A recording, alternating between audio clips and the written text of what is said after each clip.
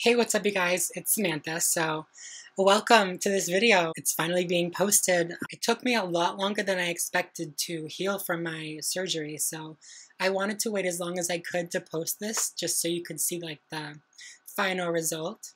It's been exactly three weeks today since I had my surgery. He said I would be swollen anywhere from two to four weeks, so I'm still like right in the middle of that.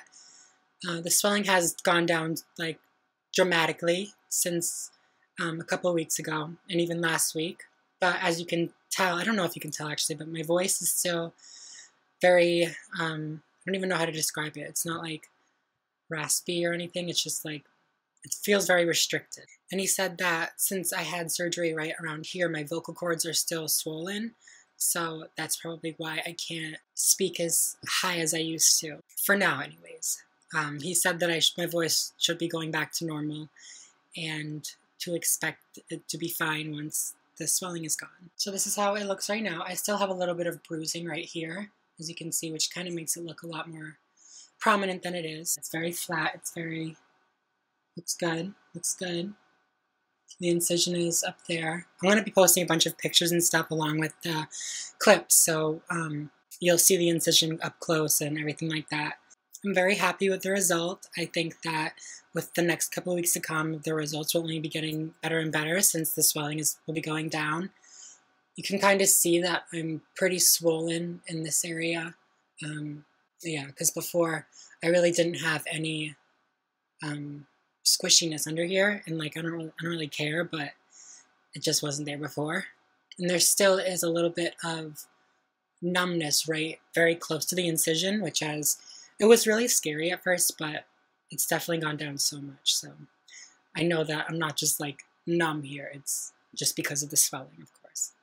I have so much footage from before the surgery and then after the surgery, and I have a lot of pictures and stuff. It'll all be in this video, so make sure you watch the very end. A little bit of a trigger warning. There is some pretty graphic images, some blood pooling almost. I don't know if it was like, I don't know if you can actually call it bruising. It was just a lot of redness and um, I wasn't even irritated. It was just a lot of redness right here underneath where the initial bandage was. That's pretty much all I want to say for now. I don't want to talk too much. Um, so I'll see you guys at the end of this video. Enjoy. So me and my mom just got to our hotel room. Um, we're just chilling now. She's like sitting right in front of me. She's working, quote unquote working.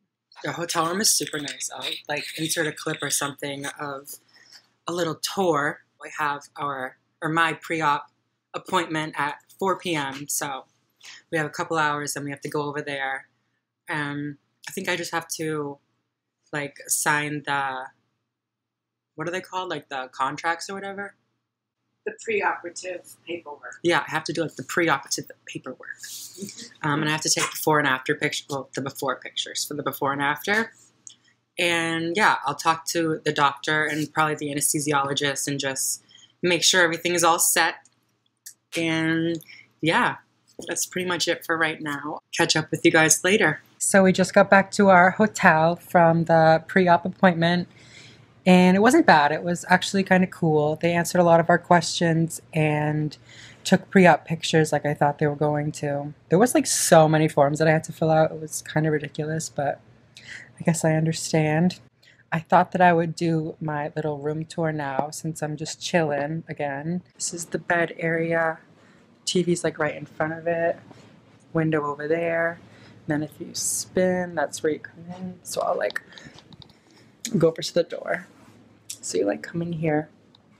And then you have this little kitchen area, little bar, fridge, cabinets, all that stuff keep walking. There's a mirror. Hey, what up? What up? We have a little sitting area. Super cute. Oh, that's my mom. Hey. And then over here, that's where that was. And then over here we have the bathroom area and this little getting ready station where I have all of my medications and stuff. Everything you need. It's a pretty big bathroom.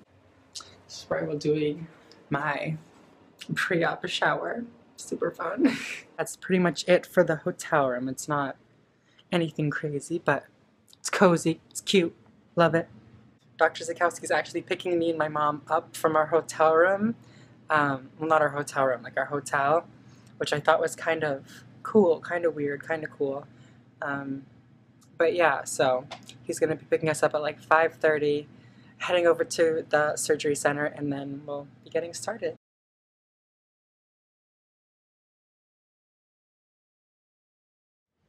Hey, what's up, you guys? Um, this is my first day post-op. Uh, my surgery was yesterday. I'm kind of out of it right now, but my voice sounds like a truck driver, so don't judge me. Thanks. I have a little bit of soreness in my throat. Um, it's not too bad, though. The doctor is supposed to be coming around 7 o'clock tonight just to check my bandages and rewrap my head and well, he'll see if I need to be rewrapped. Um, but yeah, he said everything went super well.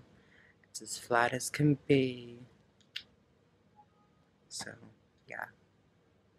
I'll keep you guys updated. Today is day three. Wait, day two. It's Thursday. I had surgery on Tuesday. You figure it out. I'm doing pretty well. My voice is still very, very hoarse. Uh, the doctor said that was normal. It would be back to normal by the time I'm done healing. Um, my face is very, very swollen, as you can see from the electrolysis. I ended up having about seven hours of electrolysis. Um, for my face, it took about four hours, and then for the South Pole area, as she called it, it took about three and a half. Um, so, yeah, I'm still healing, still doing well. Um, I think my doctor is pulling in right now. I'm like looking outside. I think I can see him. So, yeah, I'll talk to you guys a little later. Bye. So, it is, what's today? I don't even know what day it is, honestly. The wrapping got taken off um, today, yesterday. I'm literally so out of it. I don't even know what day it is. But you can see I have some bruising, some pretty intense bruising actually, around the area. Obviously, I have this bandage. He said that I can take the bandage off on Wednesday, so I have about another five days or so. Um, it's not too bad though, I don't mind it. Hey mom. And my mom just came in. My face is doing pretty well. The electrology lady said that my face reacted super, super well to the treatment, meaning like the hair literally was just falling out. So hopefully I'll have a really good reduction. Uh, I have another appointment with her May 7th. So hopefully that'll be the last time I have to go back. Huh? My mom wants me to say goodbye to you. I mean, my mom wants me to say goodbye to her in the video tomorrow. So hey mom, she's just packing up. But yeah, we're doing well. We're back in my dorm room. I don't know if I said that already, but I've never slept in a dorm. my mom's never slept in a dorm before. She's excited. We have this little bed that we're gonna try to not fall out of, so that should be interesting. I'll talk to you guys later. So today is Saturday. My voice is still kind of struggling, if you will. My face is a little bit red still, but the swelling has definitely gone down a bunch. I'm almost back to normal, hopefully. So yeah, I managed to put my brows on and some mascara, a little bit of lipstick today. Made myself feel a little bit a uh, little bit more girly, a little bit prettier. I don't have too many updates for you guys today, just taking it easy in my room, relaxing, keeping compresses on my face just to try to get this swelling out. Thank you guys so much for watching my vlog and being so concerned with my surgery.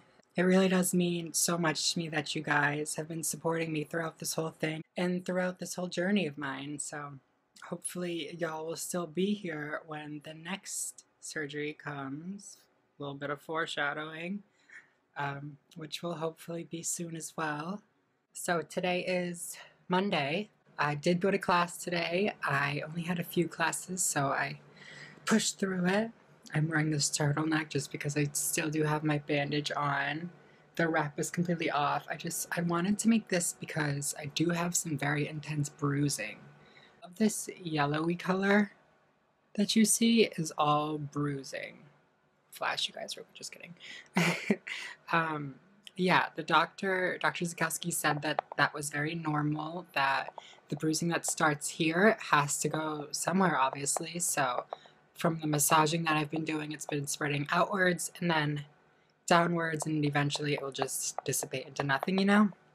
I still have not shaved my face since the electrolysis, and as you can see, I have no dark hairs on my face, which is amazing. I do have a lot of very fine, light, light hairs, but I figured I thought that was like just peach fuzz or something. I don't know. Like I know that cis girls and people that don't have facial hair, like I had, do have hair on their face. I don't know if it's the same as what is growing in on me now, but there is something. Yeah, I didn't have to shave today. I put makeup on, and you can't can't tell. Let me just focus on it. So it looks good. That highlight though, girl, can't really see anything. As for the other region that I got done, um, it hasn't been as it hasn't been swollen like whatsoever really, which is really weird because she said that it was much more difficult to remove the hair down there but there is some very, very intense bruising. It's like almost black in the places that they injected the lidocaine, which she said would be normal and to expect that because the lidocaine shots are so, so painful. I'd kind of be shocked if it didn't leave a bruise. Tomorrow or the next day, like depending on whether it falls off, he said not to like rip it off, obviously, but kind of soak it in the shower and once it falls off on its own, I'm good to go. So yeah, I'll keep you guys update. I need to like not say that at the end of every single clip, but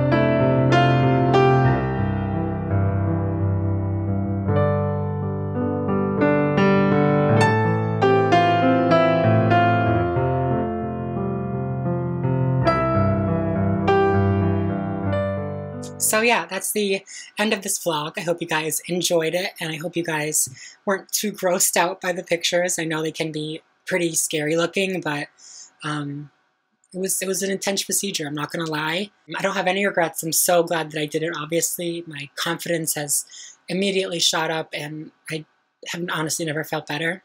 My voice is really annoying me, but just knowing that it'll be going back to normal soon is keeping me going. So if you guys enjoyed this video, make sure that you give it a big thumbs up and make sure to subscribe if you aren't already so that you can see when my next video comes out.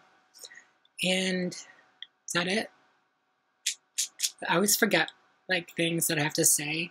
So I was like, want to make sure I'm not forgetting anything, but I don't think I am. So I will see you guys next week. Bye.